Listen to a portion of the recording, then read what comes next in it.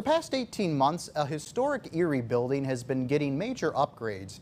The Masonic Temple Association restoring the 111-year-old Masonic Temple building by updating some of the interior. Some of the uh, areas that were restored include the first and second floor lobby, the fourth floor lodge room, and the fireside room on the second floor. Now, funding came from ECGRA, City of Erie uh, facade grants, and donations from local fundraisers. Is, is a key initiative of, of our federal government, state government, and their historic societies throughout the country that focus on that. And the reason for that is it keeps, uh, keeps us tied to our, our past and our underpinnings as a country.